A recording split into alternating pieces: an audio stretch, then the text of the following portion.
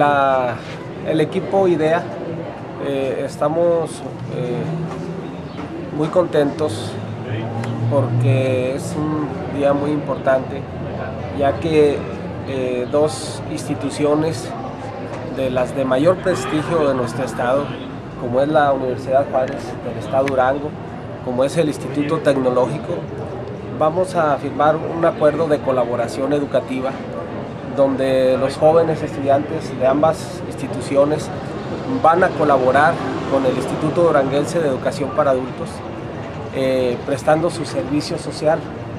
Con este hecho eh, estamos garantizando la calidad del servicio educativo que ofrecemos.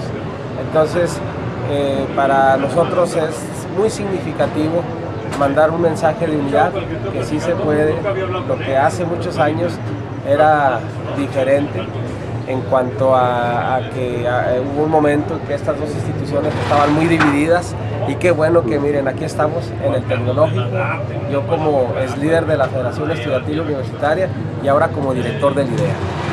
¿Cuántos estudiantes se espera que participen con, el IDEA? Bueno, eh, aquí sí seguro va a ser eh, por etapas, eh, ya esos datos nos lo va a decir cada una institución, pero sí pretendemos eh, al menos eh, ya cuando se formalice eh, tal vez para empezar con unos 1.500 de ambas instituciones y otros 1.500, o sea, 3.000 en las dos instituciones. ¿Sigue siendo Mezquital el lugar con mayor rezago educativo aquí en el estado? Sí, en, Mezquital es uno de los, el municipio de los, más, de los más pobres del país y la pobreza siempre está ligada con la desventaja académica y, en particular, bueno, pues ahí es el 27% de analfabetas eh, de los mayores de 15 años en este municipio.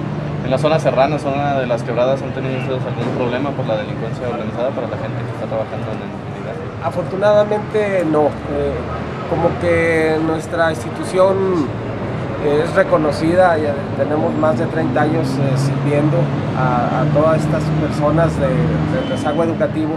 Eh, el, bonito es muy conocido, entonces este, normalmente nuestros asesores son de las mismas comunidades, de los mismos municipios y, seguramente como saben que nosotros no, no llevamos nada en contra de nadie, sino que beneficios hasta este momento nos han respetado.